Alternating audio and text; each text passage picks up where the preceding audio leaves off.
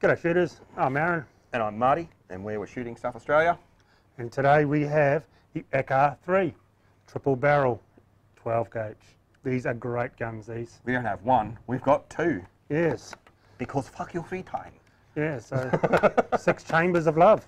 Yep, this thing is basically the product. A, um, an over under and a side by side got it on one night, and this is the pro- this is the after. the bastard child. Yeah, these are, I've actually shot one of these in a longer barrel. My cousin's got one. Um, they're actually really nice to shoot. They are pretty heavy to lug around. That extra barrel makes a shit ton of difference. Yeah, Um, but Yep. they are really good to shoot. yeah, no, they uh, feel nice. They've got a decent weight to them too, so it's not going to kick that, that much.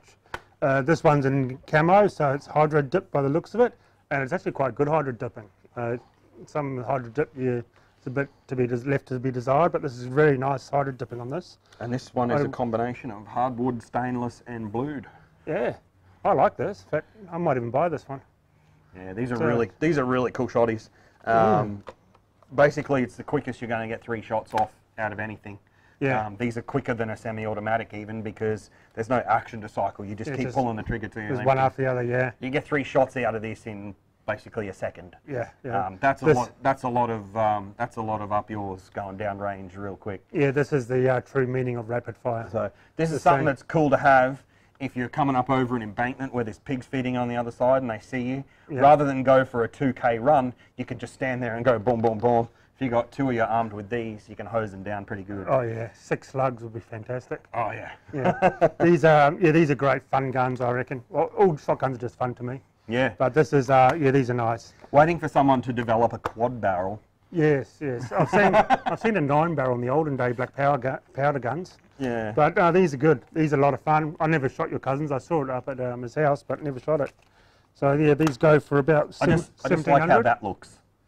Yeah, That's that's wrong house in any language. exactly. Um, definitely exactly. a cool piece of kit. Um, I think So- the, the hardwood version, uh, these retail for just a touch under 1600 bucks. And this is 1700 for the camo, which I definitely go the camo because that's my favourite colour. So uh, I really like it. Um, oh, this one is second hand too. So when they're when they're brand new, Yeah, what are they- they worth brand new off?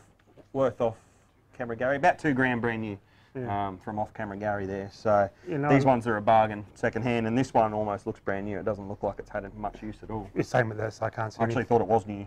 yeah, so did I. I, didn't, I don't see anything wrong with this one.